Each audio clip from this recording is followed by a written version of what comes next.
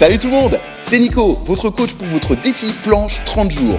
Nous allons voir au cours de cette vidéo un exercice pour vous étirer et vous relâcher au niveau du dos et des abdominaux.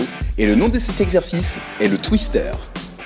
Pour réaliser le twister, positionnez-vous comme moi sur le dos, les jambes repliées, les pieds bien à plat sur le sol et dans cette position vous allez allonger vos bras sur les côtés. Voilà, bien à plat sur le sol. Allongez la tête, regardez devant vous et dans cette position, le travail va être assez simple. Vous allez juste devoir laisser tomber vos deux genoux collés qui sont l'un contre l'autre, voilà, sur le côté en veillant bien à ce que vos deux mains et vos deux épaules restent bien à plat sur le sol. Ok? Gardez la position pendant environ 20 à 30 secondes, puis revenez au milieu et exécutez le même travail de l'autre côté. Ok? Si vous voyez que vos genoux n'arrivent pas à toucher le sol, ce n'est pas grave. Ça veut dire qu'il vous manque encore un petit peu de mobilité, mais ça viendra avec le temps. Et vous savez maintenant réaliser le twister